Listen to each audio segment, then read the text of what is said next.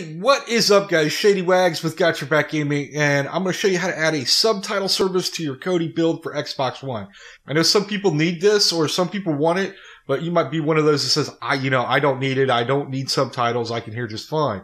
Well, there are going to be times when you're going to be watching a movie and something's going to come up like this. The hard-coded subs are missing off the movie, and you're going to have no idea what's going on. So to install subtitle service, we're going to go up to the gear icon and go ahead and click on that. Now click on File Manager. Now click on Add Source. Highlight and click on None, and you want to type this address in.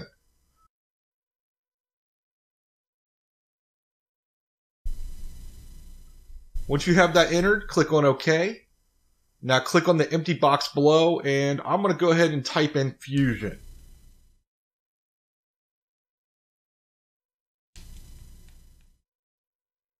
And now I'll click on OK and then OK again.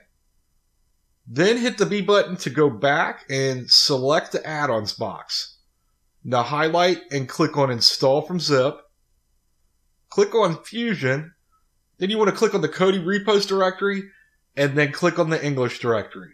And this directory has a bunch of zip files in it. You want to scroll all the way down and highlight this one right here, the XBMC hub zip file and go ahead once you have that highlighted hit A. Once that has completed installation, you'll get a notification in the top right hand corner. So go ahead and now highlight install from repository and click on that. Scroll down and select the TV add-ons repo, click on it, and now you want to select subtitles and click on opensubtitles.org. Click on install and that will begin downloading.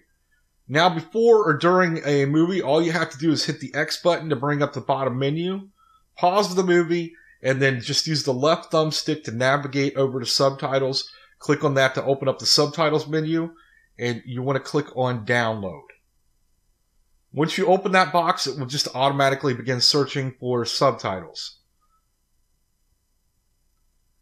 Once that list populates, you just want to kind of match up the subtitle to the version you're watching. And you can see some of these have been rated. They'll have, you know, stars on them. Those are probably the ones you want to be looking for. I think this one right here is probably what I'm looking for. So I'll go ahead and highlight it. I'll hit the A button and it'll start downloading the subtitle. And once it finishes downloading, the box will close and the subtitle will now be on. Together.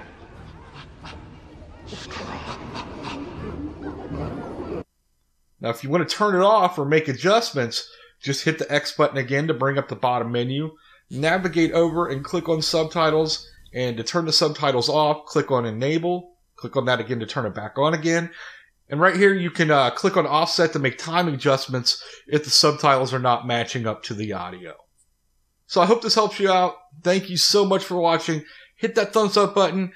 Subscribe if you haven't already. And until next time, have a good one.